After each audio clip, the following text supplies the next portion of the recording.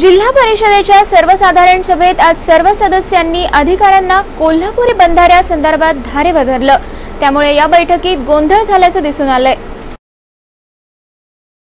जिल्हा परिषदेच्या पाचशे कोल्हापुरी बंधाऱ्याचं गेट गायब आहे. या गेटसाठी प्रशासनानं नव्यानं दोन कोटी रुपयांना मंजूर केला आहे. परंतु या कोल्हापुरी बंधाऱ्याचं गेट नेमके कुठे गेलं असा प्रश्न सदस्यांनी उपस्थित करताच उपस्थित मुख्य कार्यकारी अधिकारी यांनी हे गेट वाहून गेलं. काही गेट चोरीला गेले असं सांगताच सभागृहामध्ये एकच गोंधळ उडाला. अठ्ठ्याऐंशी किलो वजनाचं गेट वाहूनच कसं गेलं?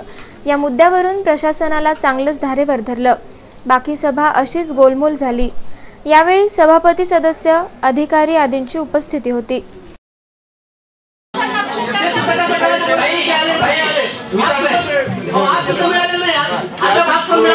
आणि काही विषय असे साहेब, काही विषय असे असतात. अध्यक्ष साहेब काही विषय असे असतात.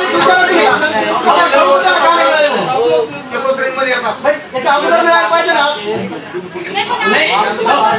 फॉर एक्झाम्पल जर पकडलं तर आपल्याकडे जशी पंचायत राज सिस्टीम आहे तशी बऱ्याचशा राज्यांमध्ये नाही आहे.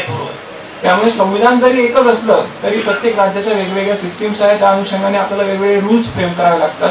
To implement constitution